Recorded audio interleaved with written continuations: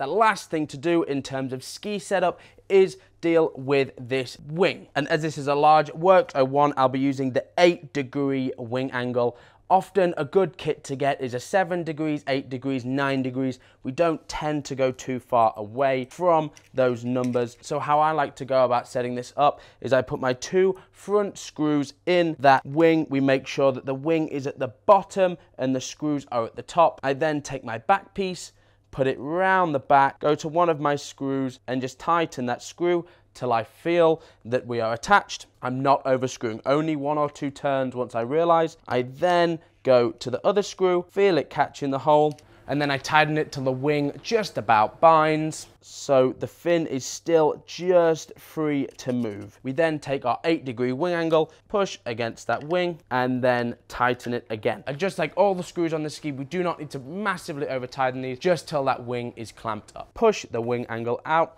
and again, just like the front, it's always good practice to check the back and make sure we haven't made any mistakes. So now we are all set up. No matter whatever ski you have in your hands, it is now ready